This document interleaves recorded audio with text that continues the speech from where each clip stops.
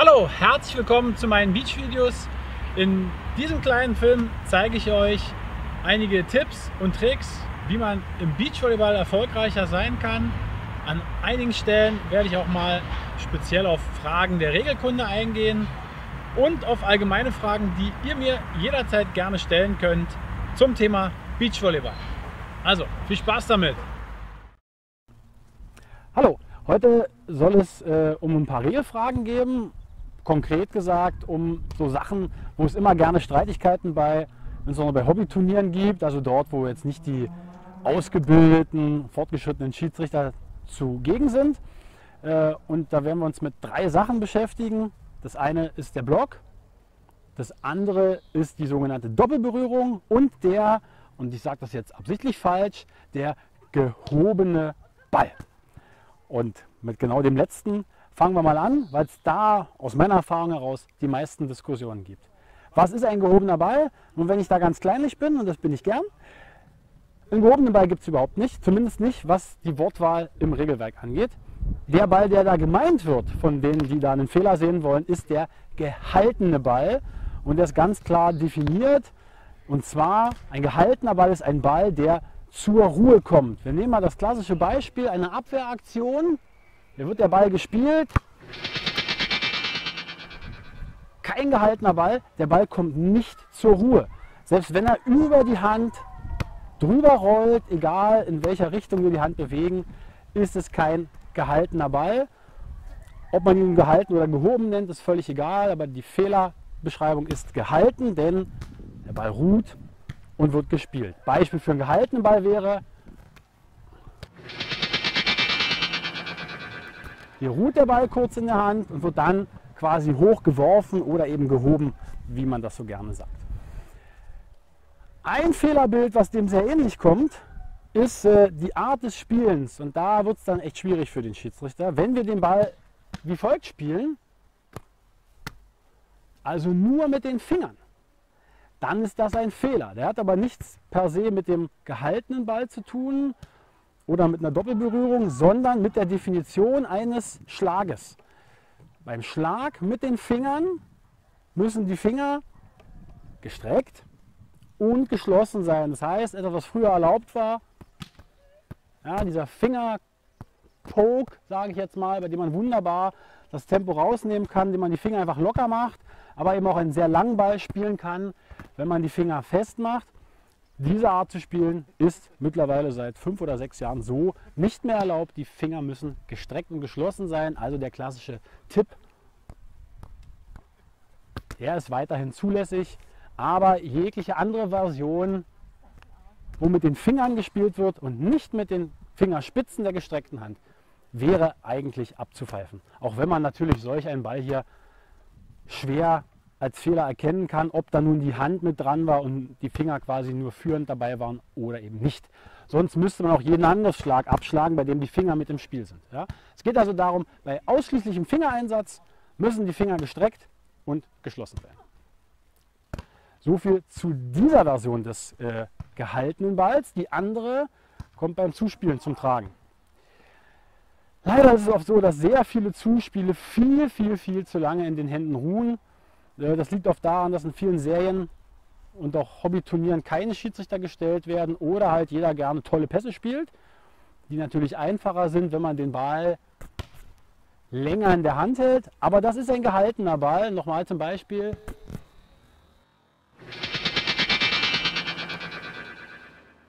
Gehaltener Ball, denn der Ball ruht kurz in der Hand, keine Handbewegung, einen Moment lang mit Ball im Vergleich zu geht nicht darum, wie lange die Hand mit dem Ball mitgeht, sondern es geht darum, ob ein Stoppen des Balles in den Händen vollzogen wird oder nicht. Denn ab dem Moment ist es ein gehaltener Ball.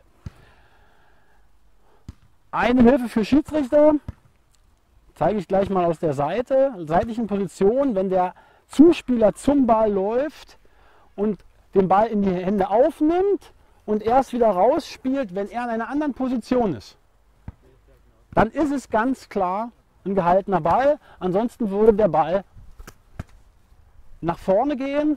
Wenn ich sage, ich habe den Ball und ich gehe quasi einen Schritt mit dem Ball in der Hand, dann ist es eigentlich in den meisten Fällen ein gehaltener Ball und das Zuspiel fehlerhaft. Denn eine Zeitvorgabe, wie lange Kontakt zwischen Hand und Ball sein darf, gibt es in der Tat im Regelwerk nicht. Die Sache ist die sogenannte Doppelberührung. Ja, das Handzeichen dazu, ne? zwei, die Hasenohren, nochmal zum gehaltenen Ball, ja, hier, Carrying. Äh, Doppelberührung. Wann ist es eine Doppelberührung und wann nicht? Da ist das Regelwerk ziemlich eindeutig. Und zwar, wenn eine doppelte Berührung stattfindet, die nicht gleichzeitig passiert. Was bedeutet das? Beispiel, man wartet in der Annahme auf einen harten Schlag, bekommt den Ball auf die Arme und dann nochmal gegen die Nase, auf die Stirn, was auch immer, ist das eine Berührung, solange wie nicht erkennbar ist, dass der zweite Kontakt absichtlich war.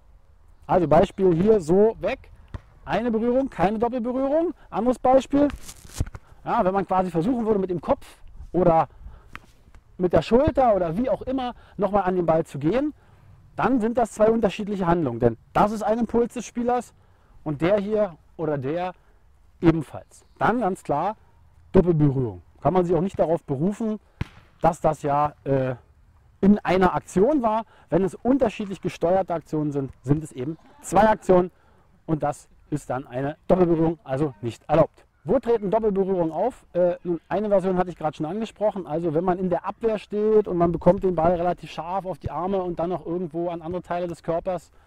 Ja, äh, oder in einer Blocksituation, die gleichzeitigen äh, Berührungen. Man geht mit einer Hand hoch und der Ball äh, berührt die eine Hand und geht dann zur anderen. Auch das ist keine Doppelberührung. Es sei denn wieder, es ist eine Absicht erkennbar. Das heißt, der Ball geht an den rechten Arm und dann geht der linke dahin, wo der Ball jetzt hinwegspringt. Dann ist es zwar eine zweite Berührung, aber das ist kein Fehler, denn im Beachvolleyball ist es ja erlaubt, nach der Blockberührung selber den zweiten Ball zu spielen. Deshalb, schöne Möglichkeit, klappt leider nur sehr selten. Mit der einen Hand den Ball blocken, also oben halten und ihn mit der anderen Hand einschlagen. Tolle Sache, die meisten Gegner sind da verwirrt, aber klappt leider nicht so häufig. Ja, das wäre also keine Doppelberührung. Eine andere Doppelberührung, und da tritt sie häufig auf, wird am häufigsten gepfiffen, ist die Doppelberührung beim oberen Zuspiel. Hier kurz als Beispiel, ja, also wenn der Ball von einer Hand zur anderen geht, also nicht gleichzeitiger Ballkontakt vollzogen wird, dann ist es eine Doppelberührung und ein Fehler.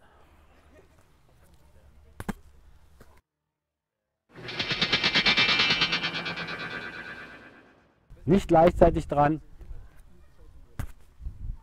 Hände gleichzeitig dran. Die Rotation des Balles per se wird oft hergenommen, um zu entscheiden, ob das Zuspiel sauber war.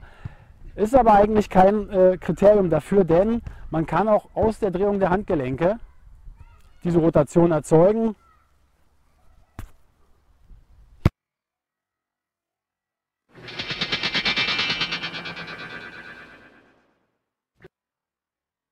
Hier ganz klar keine Doppelberührung. Das Schieben über den Ball mit beiden Händen gleichzeitig kommt diese Rotation zustande. Dreht sich der Ball seitlich,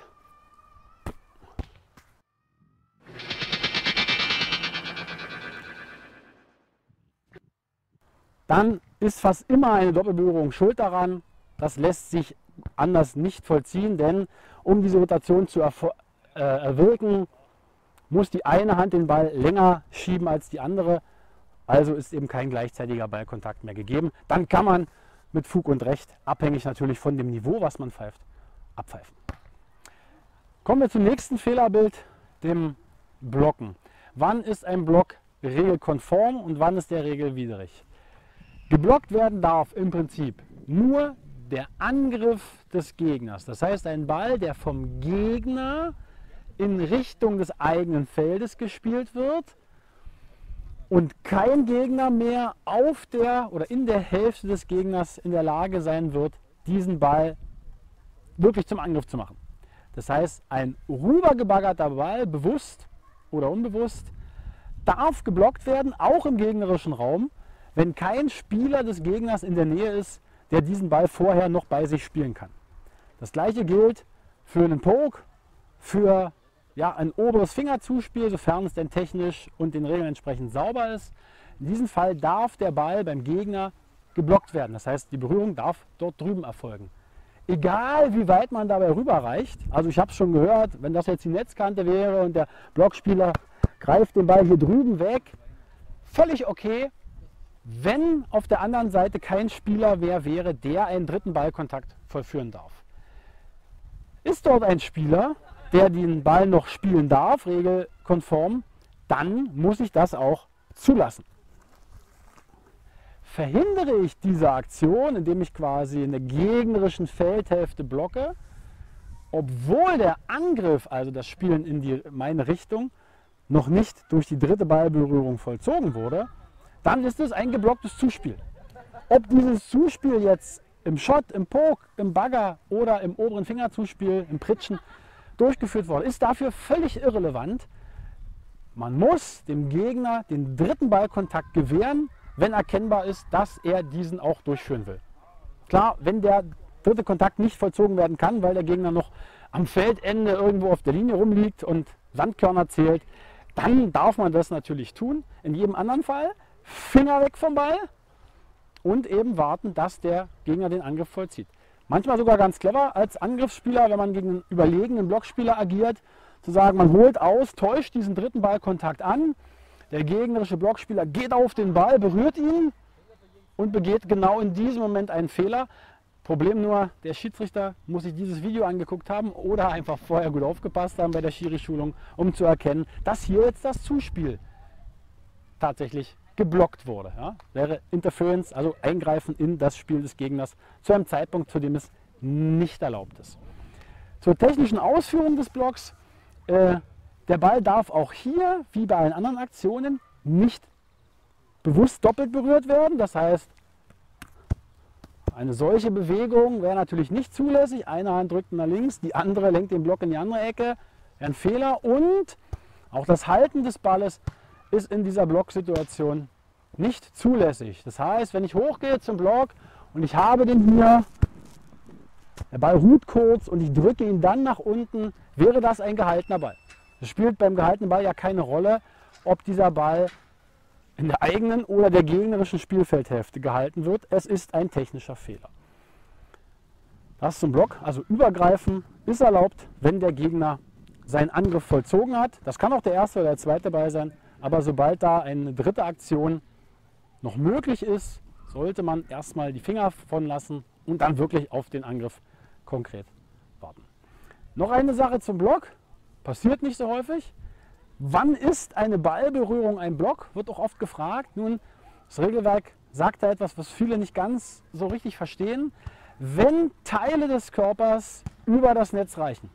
Es steht nicht da, dass der Ballkontakt über dem Netz stattfinden muss. Extremes Beispiel, vorhin schon mal indirekt angesprochen. Ich gehe mit dem linken Arm hoch über das Netz, will den Ball greifen, erwische ihn aber nicht.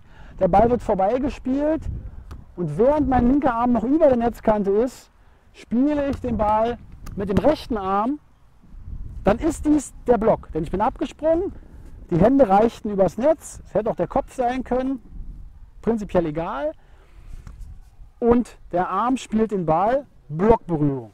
Also gleiches Beispiel wie vorhin, rechter Arm geht hoch zum Block, ist über der Netzkante, auch nur teilweise, wenn es nur die Fingerspitzen sind. Der Ball geht vorbei, der linke Arm spielt den Ball hoch und der rechte Arm schlägt ihn ein. Völlig okay, denn der erste Ball ist, weil der Arm höher ist als die Netzkante, der rechte, der Block.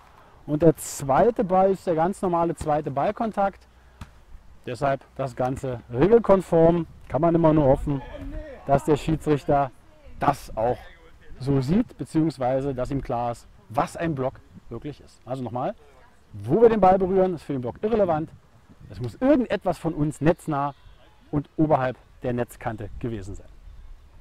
Okay, das waren so die wichtigsten Fragen, die mir immer wieder einfallen und die auch ganz oft gestellt werden. Äh, ich hoffe, ich konnte ein bisschen Klarheit schaffen. Ansonsten empfiehlt sich immer, sich das Regelwerk anzuschaffen. Idealerweise, wenn ihr ganz gut sein wollt, die englische Version immer frei verfügbar auf den Seiten der FIVB. äh, und immer in der aktuellsten Version, auch wenn die deutschen Versionen in der Übersetzung manchmal nicht alles so ganz korrekt übernehmen. Aber da wird dann immer noch gut dran nachgearbeitet. Wenn es nochmal Fragen gibt, Ball in oder out, habe ich dazu ein Video, einfach mal nachschauen. Äh, da kann man dann rauskriegen, woran man gut entscheiden kann, ob ein Ball auf der Linie war oder eben nicht. So, das war's für heute. Wenn es irgendwelche Fragen gibt, Hinweise, Anregungen, dann immer gerne her damit. Und äh, ansonsten immer schön am Ball bleiben.